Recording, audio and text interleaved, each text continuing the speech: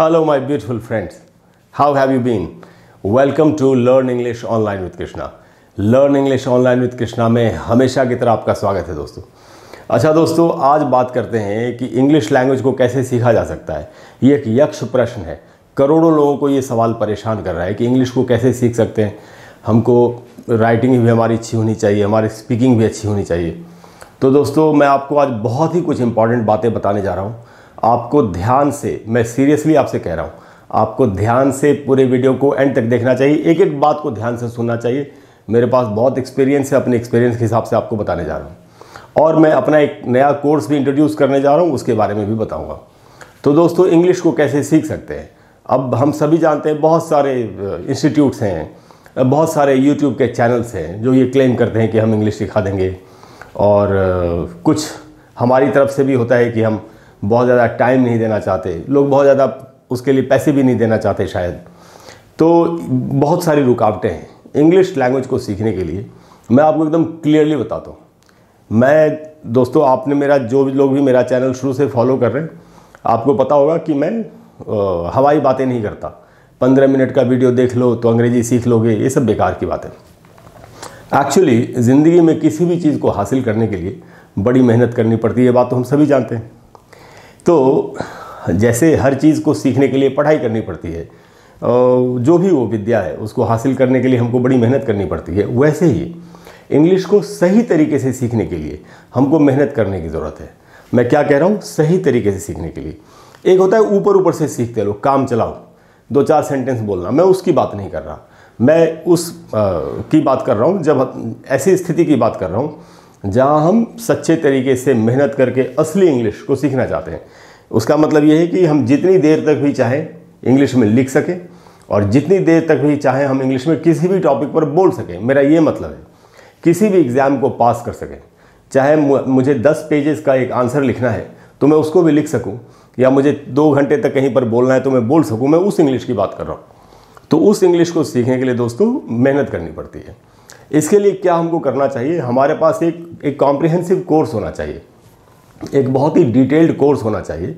और हमको लगातार कुछ महीनों तक मेहनत करके, लगातार कंटिन्यूसली बिना किसी ब्रेक के मेहनत करके, एक मिशन की तरह इसको लेकर के हम अगर इंग्लिश की, को सीखने की कोशिश करें और हमको एक अच्छा टीचर एक गाइड भी मिल जाए, सही बताने वाला तो हम इंग्लिश को सीख सकते हैं। इसमें कौन सी बड़ी बात है? अगर करोड़ों लोग इंग्लिश को बोल सकते हैं तो फिर आप भी बोल सकते हैं, मैं भी बोल सकता हूँ। दोस्तों, यही इसी इसी मकसद को पूरा करने के लिए मैंने एक कोर्स बनाया आप सभी लोगों के लिए और वो कोर्स है दोस्तों इंग्लिश कोर्स है और वो कॉम्प्रिहेंसिव कोर्स है। आप देख रहे हैं, ये बहुत ही डिटेल्ड कोर्स है। इसीलिए इसकी ड्यूरेशन जो है वो सिक्स मंथ्स की है। मैं थ्री मंथ्स वाले भी कोर्सेज मैंने पहले आपको बताए और मेरा वॉइस एंड एक्सेंट का प्रोनाउंसिएशन का भी कोर्स जो डेढ़ महीने का, वो भी मैंने कई बार इंट्रोड्यूस किया है। आप में से बहुत लोगों ने उस कोर्स को किया भी है। लेकिन दोस्तों, मैंने यही रियलाइज़ किया कि ये सब कोर्सेज अधूरे ही रह जाते हैं, क्योंकि स्टूडेंट को बहुत चीज़ों की ज़रूरत होती है। अब मैं आपको बताता हूँ कि इंग्लिश लैंग्वेज को कैसे, किसी भी फॉरेन लैंग्वेज को कैसे सीखा जा सकता है। किसी भी लैंग्वेज को आपको चार हिस्सों में सीखना चाहिए। दुनिया में जितने भी स्टैंडर्ड इंग्लिश के टेस्ट हैं एग्ज़ाम्स हैं, जैसे फॉरेन जाने के लिए आपको आइल्स का एग्ज़ाम देना पड़ता है टोफल का एग्ज़ाम देना पड़ता है, ये जितने भी एग्ज़ाम्स हैं, ये सभी चार पार्ट्स में होते हैं। इसका मतलब ही यही है कि इंग्लिश को चार हिस्सों में किसी भी लैंग्वेज को चार हिस्सों में सीखा जा सकता है। अगर एक भी हिस्सा छूट गया तो हम इंग्लिश को ठीक से सीख नहीं सकते, या किसी भी लैंग्वेज को ठीक से सीख नहीं सकते। वो चार हिस्से कौन कौन से मैं आपको बताता हूँ। वो चार हिस्से मैंने यहाँ लिखे दोस्तों। लिसनिंग यानी सुनना।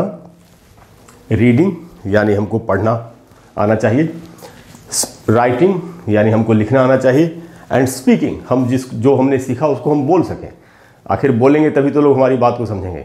ज़्यादातर। लिख करके भी समझते हैं लेकिन बोल करके ज़्यादा चलता है। तो बोलने से भी हमारी बात को लोग. बोलने से हमारी बात को समझेंगे लोग।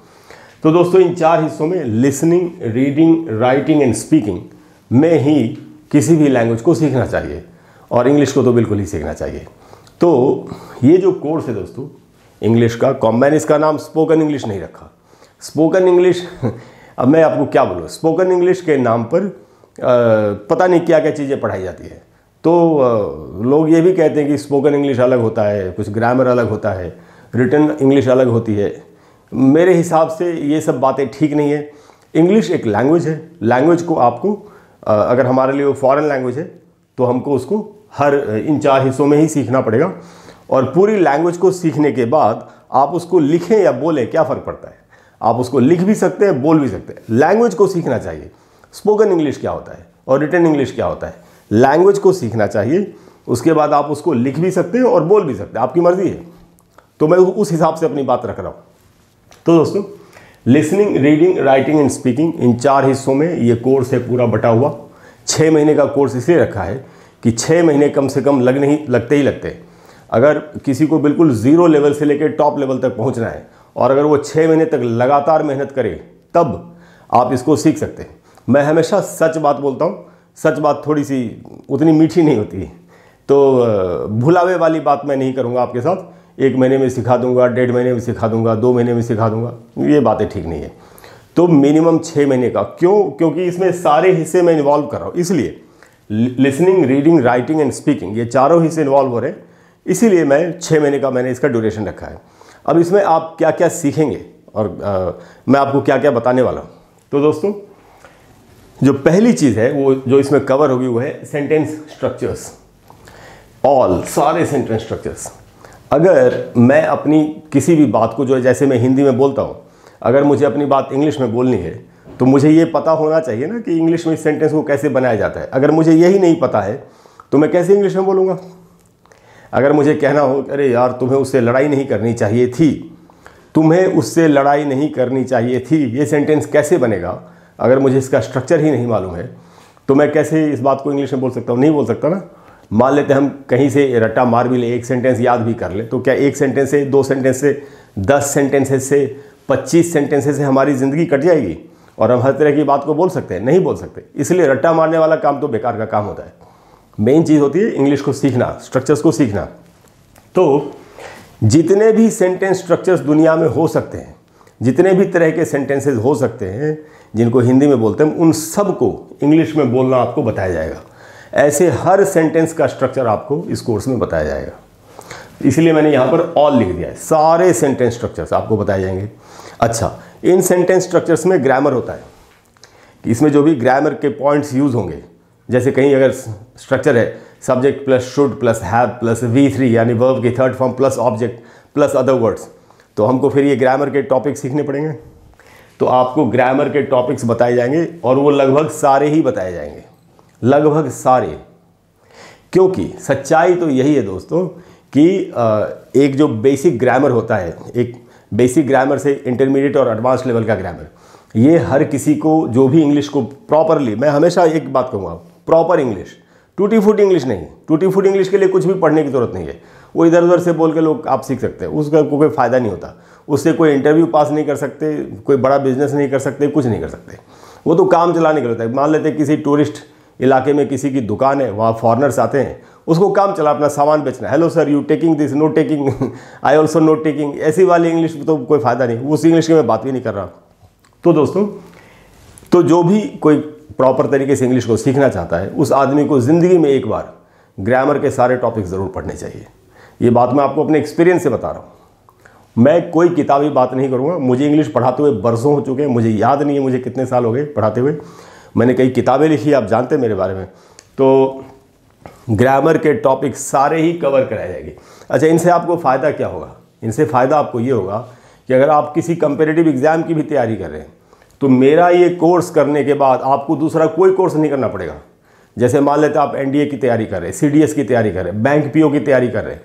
या आप एसएससी की तैयारी कर रहे हैं, आप आयल्स की तैयारी कर रहे हैं अगर तो भी मैं आपसे कह रहा हूँ और मैं दावे से कह रहा हूँ कि आपको वो सारे कोर्सेज करने की ज़रूरत नहीं पड़ेगी। इसी कोर्स को करने के बाद आप वो सारे एग्ज़ाम्स को बखूबी सक्सेसफुली सफलतापूर्वक क्लियर कर सकते हैं। ये मैं आपको दावे के साथ कह रहा हूँ, क्योंकि इसको मैं आपको बताने वाला वैसे हूँ। मेरे बहुत स्टूडेंट्स जिन्होंने मेरे, मेरा कोर्स किया है थ्री मंथ्स का भी कोर्स किया है और अगर उन्होंने ठीक से पढ़ाई की सीरियसली तो वो करके उन्होंने लगभग सारे एग्ज़ाम्स को पास कर लिया। और उन्होंने उन्होंने मुझे खुद आके बताया कि, सर, आपका ये कोर्स करने के बाद स्पोकन एंड रिटर्न इंग्लिश का कोर्स करने के बाद, हमारे पैसे बच गए उधर पंद्रह बीस हज़ार रुपये, पचास हज़ार रुपये पता नहीं कितना मांग रहे थे, वो बच गया आपने सारा इसी में कवर करा दिया। तो मैं उस हिसाब से कह रहा हूँ। ये बात भी मैंने आपको अपने एक्सपीरियंस से बोली। तो ग्रामर के सारे टॉपिक्स आपको बताए जाएँगे, जिससे कि आपके सारे कॉन्सेप्ट क्लियर हो जाए। ज़िंदगी भर के लिए समझ में आ जाए कि ये सेंटेंस कैसे बनता है। मुझे इस तरह की बात बोलनी है, लिखनी तो मैं कैसे लिखिया बोल सकता हूँ? तो ये सारा आपको बताया जाएगा। उसके बाद दोस्तों pronunciation rules of pronunciation or उच्चारण. जनरली जो स्पोकन एंड रिटर्न इंग्लिश के कोर्स होते हैं, उनमें उच्चारण के नियम नहीं बताए जाते। मेरा जो कोर्स है तीन महीने वाला, मैं मैं भी उसमें नहीं बताता। ज़्यादा नहीं बताता, थोड़े थोड़ा बहुत बताता हूँ। लेकिन ये नहीं सीखने के कारण स्पोकन इंग्लिश में प्रोनाउंसिएशन के रूल्स नहीं सीखने या सिखाने के कारण ही भी तो हम बहुत अच्छी इंग्लिश नहीं बोल पाते। जैसे मैं आपको एक बात बताता हूँ जैसे फ्लुएंसी अब फ्लुएंसी अगर डेवलप करनी है तो लोग हमको तरह तरह की बातें बताते बेकार की बातें। इसके साथ बोलो उसके साथ बोलो गाना गाओ तो फ्लुएंसी आ जाएगी। नहीं ऐसे नहीं होता। ऐसे फ्लुएंसी नहीं आती। फ्लुएंसी कैसे आएगी? आपको जो प्रोनाउंसिएशन के रूल्स हैं वो सीखने पड़ेंगे। जैसे वर्ड्स की लिंकिंग होती है वो कैसे होती है? आ, बाकी के जो रूल्स हैं वो सीखने के बाद आपके सामने बिल्कुल क्लियर हो जाएगा। कि एक्चुअली फ्लुएंसी कैसे बनती है? फ्लुएंसी बनाना एक टेक्निकल चीज़ है। वो कोई ऐसे हँसी मज़ाक में नहीं बनाई जा सकती। तो फ्लुएंसी आपकी डेवलप होगी और आपका जो उच्चारण है इफ़ेक्टिव कम्युनिकेशन बहुत ज़रूरी है ज़िंदगी में। अगर मैं ज़िंदगी को ज़िंदगी बोलूँ, अगर मैं ज़्यादा को ज़्यादा बोलूँ तो क्या मतलब है इस बात का? अगर मैं तलाश को तलाश बोल दूँ तो इसका कोई मतलब नहीं है। तो दोस्तों, ऐसे ही इंग्लिश में बहुत से वर्ड्स हैं जिनको हम गलत तरीके से बोलते हैं। और हम बहुत अच्छा इंप्रेशन नहीं पड़ता हमारा। एक्चुअली बहुत लोग ऐसे हैं जिनको इंग्लिश का अच्छा खासा ज्ञान है, लेकिन उनका उच्चारण बिल्कुल ख़राब होता है तो उनका सारा इंप्रेशन ख़राब हो जाता है। उनके बारे में लोग अच्छी राय नहीं रखते। आपको मालूम होगा मैं क्या कह रहा हूँ। बड़े शहरों में कैसा माहौल है, आपको पता है। जैसे ही आप ज़िंदगी में ऊपर उठने की कोशिश करेंगे, चाहे आप बिज़नेस कर रहे हो, चाहे आप अच्छी जॉब करने के लिए जा रहे हो, आपका कम्युनिकेशन परफेक्शन में होना चाहिए। ये बात हम सभी को मालूम है। आपकी English grammatically hundred percent correct होनी चाहिए। यही सच्चाई है दोस्तों, इसी सच्चाई पर हमको लोग हमको ठीक से बताते नहीं, पर्दा डालने की कोशिश करते हैं। नहीं, मैं आपको हमेशा सच बात बताऊँगा। तो दोस्तों प्रोनाउंसिएशन के रूल्स आपको सिखाए जाएँगे, क्योंकि ये स्पीकिंग में आएगा। स्पीकिंग का पार्ट है प्रोनाउंसिएशन अगर मेरा प्रोनाउंसिएशन ही अच्छा नहीं है तो मैं क्या इंग्लिश बोलूँगा? मैं क्या कम्युनिकेशन करूँगा? एक कहावत है जो मैं अपने पहले के कई वीडियोज़ में बोल चुका हूँ, कि जैसे किसी इंसान के शरीर में उसका चेहरा सबसे ज़्यादा इंपॉर्टेंट होता है, वैसे ही किसी लैंग्वेज का फेस होता है उसका प्रोनाउंसिएशन अगर प्रोनाउंसिएशन अच्छा नहीं है तो हम क्या लैंग्वेज बोलेंगे? तो दोस्तों स्पोकन इंग्लिश में प्रोनाउंसिएशन नहीं रखा जाता। मैं भी नहीं रखता था पहले। लेकिन मेरे, चूँकि मुझे प्रोनाउंसिएशन के बारे में मेरी बहुत ज़बरदस्त पकड़ है, और इंडिया में मैंने ही इफ़ेक्टिवली प्रोनाउंसिएशन सिखाना शुरू किया यूट्यूब पर। एक्चुअली पूरी दुनिया में चाहे वो अंग्रेज़ यूट्यूबर्स भी हों, जितने प्रोनाउंसिएशन के ऊपर वीडियोज़ मैंने बनाए, उतनी दुनिया, पूरी दुनिया में किसी ने नहीं बनाए और मैंने इसके ऊपर एक बुक भी लिखी है, आपको मालूम ही है। तो ये सारे रूल्स भी इस कोर्स में इंक्लूड किए गए हैं। तो अब आपको अलग से प्रोनाउंसिएशन नहीं सीखना पड़ेगा। सारा प्रोनाउंसिएशन आपको सारे रूल्स जितने भी टॉप क्लास के रूल्स हैं, सारे इसी में सिखा दिए जाएँगे। उसके, इनको सीखने के बाद आपका प्रोनाउंसिएशन कमाल का हो जाएगा। आप नेटिव स्पीकर्स की तरह, अंग्रेज़ों की तरह अंग्रेज़ी बोलने की हालत में आ जाएँगे और आपकी फ्लुएंसी ज़बरदस्त हो जाएगी। हाँ मैं एक ही बात कहूँगा, ये वादे कोई हवा हवाई वादे नहीं है, आपको मेहनत करनी पड़ेगी। मेहनत करेंगे तभी हासिल होगा। इसीलिए जब हम सीखेंगे, हम पीरियोडिक टेस्ट भी करेंगे बीच में। टेस्ट भी चलते रहेंगे आपके, ये देखने के लिए कि आपकी कितनी प्रोग्रेस हो रही है। उसके बाद दोस्तों कॉन्वर्सेशनल इंग्लिश इसमें वेरियस टॉपिक्स बहुत सारे टॉपिक्स आपको बताए जाएँगे। कॉन्वर्सेशनल इंग्लिश क्या होती है? ये टॉपिक वाइज इंग्लिश होती है। जैसे मुझे थैंक यू बोलना है किसी को तो मैं कितने तरीक़ों से बोल सकता हूँ? अगर कोई मुझे थैंक यू बोल दे तो मुझे बदले में क्या बोलना चाहिए? एड्रेस पूछना हो टाइम पूछना हो, धन्यवाद देना हो किसी को आभार व्यक्त करना हो किसी का, ये अलग अलग टॉपिक्स हैं। इन टॉपिक्स में ज़्यादा ग्रामर नहीं चलता। हालाँकि जब सेंटेंस बनता है तो फिर सेंटेंस स्ट्रक्चर तो आ ही जाएगा उसमें भी। ग्रामर का हिस्सा आ जाएगा बट बहुत से ऐसे इसमें सेंटेंसेस हैं, जिनमें ग्रामर की उतनी ज़रूरत नहीं पड़ती। ये बहुत हेल्प करेगा आपकी। जब आप ग्रामर भी सीख रहे हैं सेंटेंस स्ट्रक्चर सीख रहे हैं प्रोनाउंसिएशन सीख रहे हैं, और अगर आप कॉन्वर्सेशन इंग्लिश भी सीख रहे हैं तो ये समझिए कॉम्प्लीमेंट करता है आपकी लर्निंग को, आपके नॉलेज को कब पूरक बनता है तो ये आप, ये इसमें बहुत सारे टॉपिक्स आपको बताए जाए, बताए जाएँगे, जिससे कि आपकी ज़बरदस्त पकड़ आपकी कॉन्वर्सेशन के ऊपर आपकी बन सके। उसके बाद है दोस्तों वैकेबलरी फिर वही बात है जनरली वैकेबलरी कवर नहीं की जाती। वैकेबलरी के लिए किसी भी कोर्स में ज़्यादा वैकेबलरी नहीं बताते टीचर्स मैं भी नहीं बताता।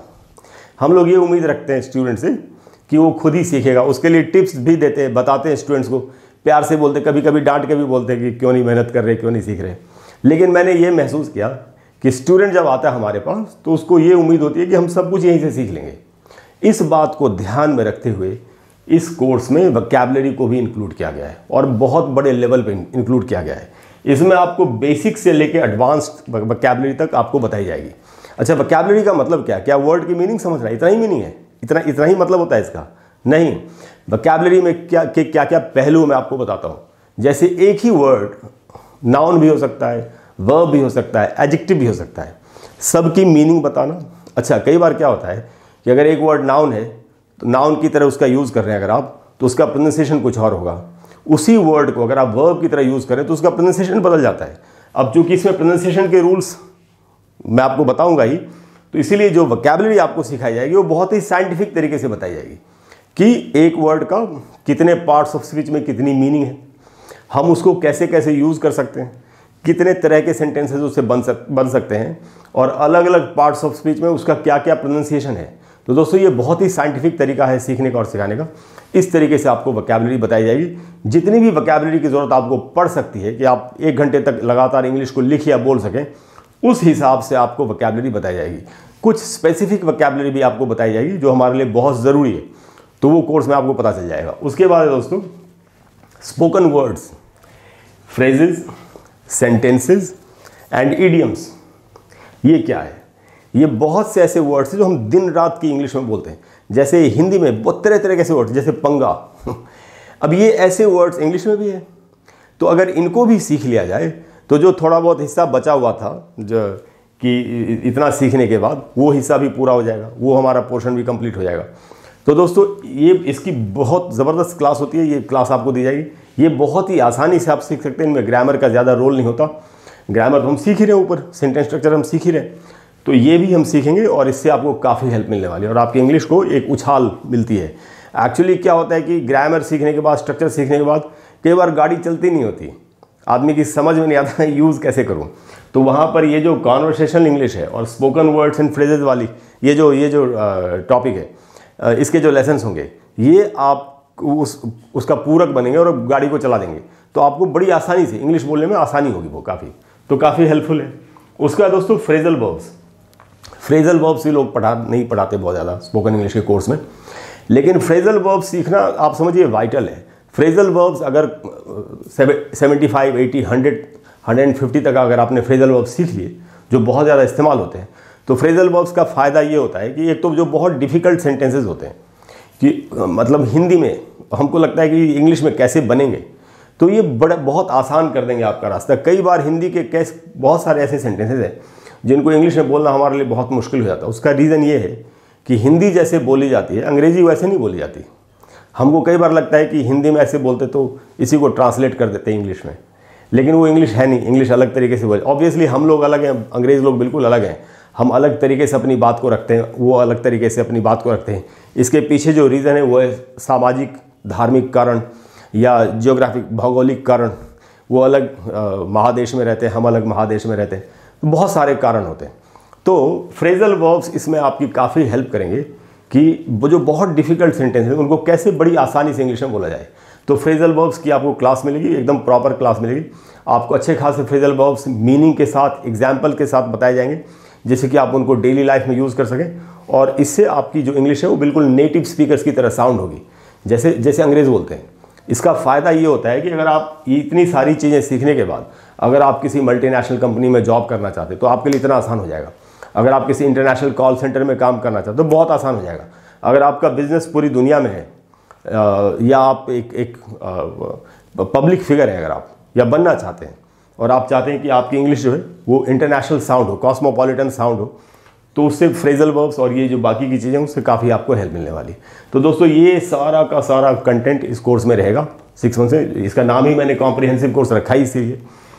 उसके बाद दोस्तों, जैसा कि मैंने आपको बता दिया ड्यूरेशन इसकी सिक्स मंथ्स की छः महीने का कोर्स है। छः महीने तक आपको मेरे साथ छः महीने बिताने पड़ेंगे।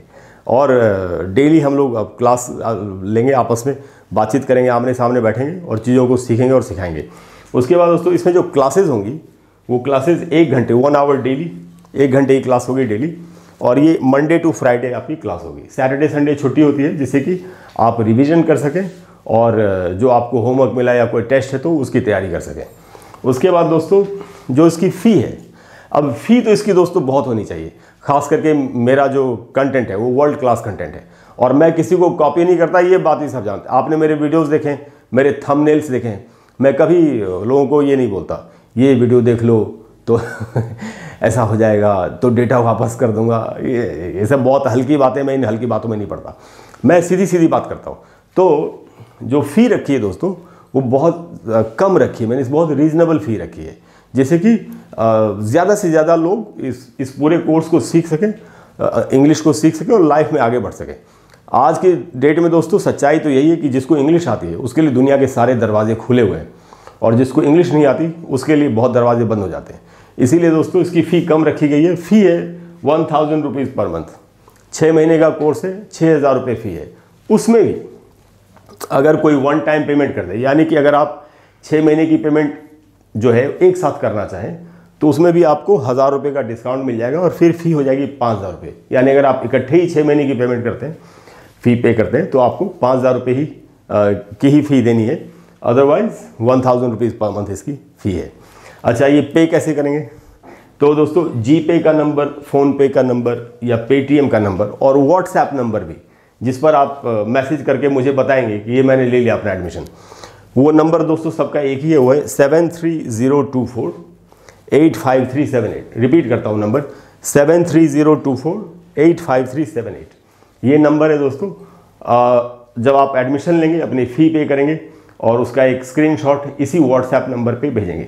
आ, मैं आपको यही कहूँगा कि आपको इस नंबर पे कॉल करने से बचना चाहिए क्योंकि इतनी कॉल्स आती हैं हमारे पास कि हम उनको अटेंड नहीं कर सकते। इसलिए व्हाट्सएप मैसेज भेजना व्हाट्सएप मैसेज के ज़रिए बातचीत करना कुछ भी पूछना हो तो व्हाट्सएप मैसेज के ज़रिए पूछना सबसे अच्छा रहेगा। जैसे कि हम लोगों के पास जब भी टाइम हो हम आपको उसका आंसर कर सकें। कॉल उठाना मुश्किल होता है। अच्छा दोस्तों, उसके बाद आते हैं टाइमिंग पर। टाइमिंग क्या होगी क्लासेस की? एनी कोई भी टाइमिंग जो भी टाइमिंग आपको चाहिए एडमिशन लेने के बाद, आप सब कुछ प्रोसेस पूरा करने के बाद, आप अपना बताएँगे कि मुझे ये टाइम चाहिए। उसके बाद हम लोग देखेंगे कि क्या टाइम आपको दिया जा सकता है, आपको एक टाइम अलॉट किया जाएगा। आपकी सुविधा के अनुसार और हमारी सुविधा के अनुसार। बीच का एक रास्ता निकाल के, एक ऐसी टाइमिंग निकालेंगे जिससे कि सबको सूट कर सके। जैसे जैसे मैं आपको बता रहा था, आप you can pass any exam आप किसी भी एग्ज़ाम को पास कर सकते हैं इस कोर्स को करने के बाद। चाहे वो आइल्स का कोर्स हो, चाहे टोफल का कोर्स हो, चाहे बैंक पीओ का एग्ज़ाम है, आपका एसएससी का एग्ज़ाम है एनडीए सीडीएस का एग्ज़ाम है। यहाँ तक अगर आईएएस का भी एग्ज़ाम है और आपको इंग्लिश में आंसर्स लिखने हैं, आपको रीडिंग कॉम्प्रीहेंशन रीडिंग कॉम्प्रीहेंशन की आपको ज़रूरत है तो इवन रीडिंग कॉम्प्रीहेंशन के लिए भी ये क्लास आपके लिए बिल्कुल रामबाण साबित होने वाली है। यानी कोई भी ऐसा एग्ज़ाम नहीं बचेगा जिसको आप पास ना कर सकें। और आपको सारे पैसे बचेंगे एक्चुअली तो दोस्तों, ये कोर्स है। मुझे पूरी उम्मीद है कि इस कोर्स से आपको काफ़ी फ़ायदा होगा और आप इसमें इनरोल करेंगे। तो दोस्तों, इसमें इनरोल करना शुरू करिए और जितनी जल्दी होगा, हम लोग बैच स्टार्ट करेंगे और छः महीने साथ में बिताएँगे और सारी चीज़ों को सीखेंगे। Thank you very much I will wait for your call and your decision and I see you soon bye bye